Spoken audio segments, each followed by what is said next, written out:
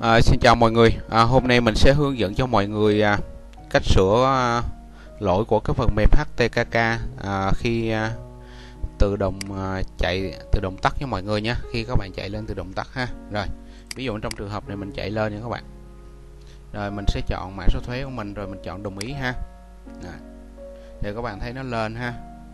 Rồi sau nó tự động nó thoát ra rồi để sửa lỗi cái đó mình các bạn sẽ làm như sau. Các bạn làm theo mình hướng dẫn nha. Mình sẽ chọn vô đây nha các bạn.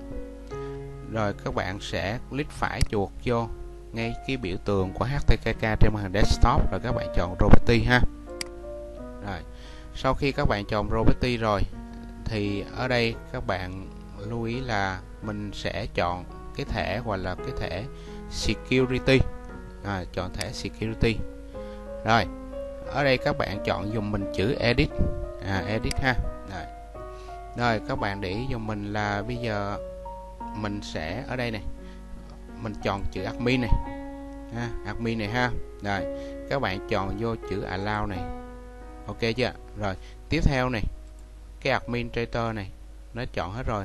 Rồi cái chữ mà này nữa các bạn cũng chọn hết dùm mình luôn.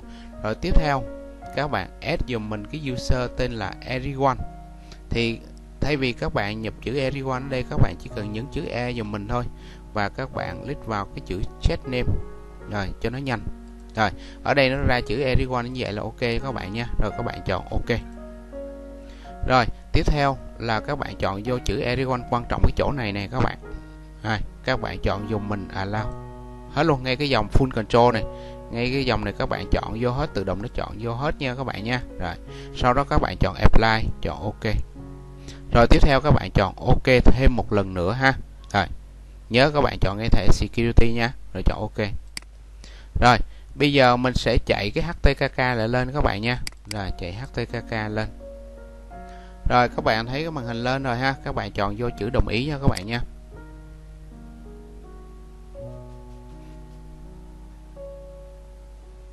Rồi, các bạn thấy nó vẫn tắt. Chia buồn các bạn.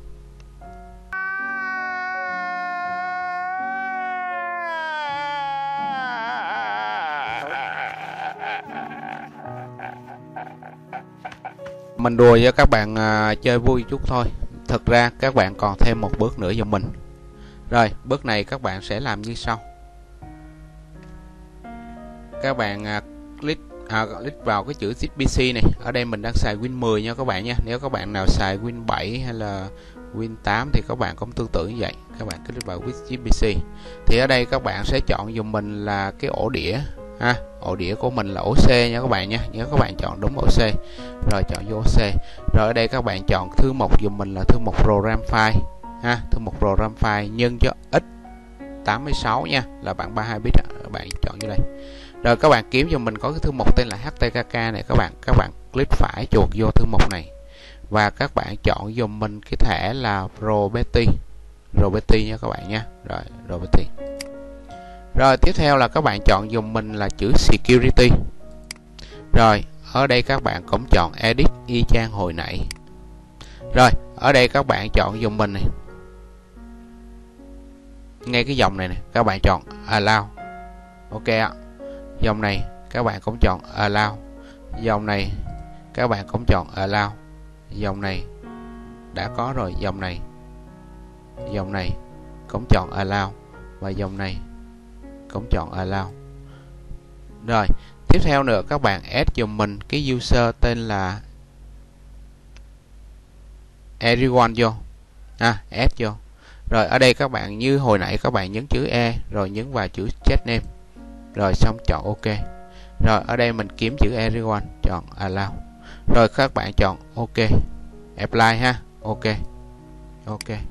Rồi bây giờ mình sẽ à, đóng cái màn hình này lại. Rồi mình sẽ chạy cái HTKK lên nhé các bạn nha. Rồi chạy HTKK lên. Rồi các bạn cũng vô chữ đồng ý ha. Rồi. Rồi các bạn xem kết quả như thế nào. Rồi, ở đây nó báo là cái phiên bản này cũ, bạn muốn cập nhật phiên bản mới không? Rồi bây giờ mình chọn không tạm thời đi các bạn nhé. Rồi. Rồi các bạn thấy sao? Có còn bị bị tắt nữa không ạ hết rồi nha các bạn nha Trời ghê chưa? Ghê ghê ghê chưa? Ghê chưa? Ghê chưa? rồi thì mình mới hướng dẫn cho các bạn cách à, sửa cái lỗi của trong trường hợp cái phần mềm HTKK nó tự động khi chạy lên tự động nó tắt nha các bạn nha rồi thì à, từ phiên bản 4.3.0 này cái hệ thống nó tự động nó update lên khi mà có phiên bản mới nha các bạn nha nó sẽ báo mình có muốn update không bây giờ mình sẽ đóng đi các bạn mình sẽ chạy lại. Đồng ý ha.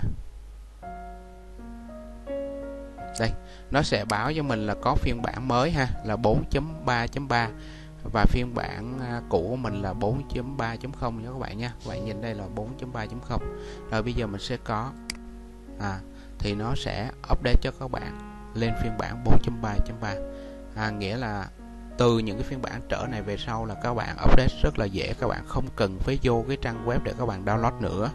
Và các nó tự động chạy lên và tự động sẽ hỏi các bạn có update hay không và các bạn update dùm thì bắt buộc các bạn phải update thôi tại vì bên chi cục thuế là nó luôn luôn nó cập nhật những cái phiên bản mới.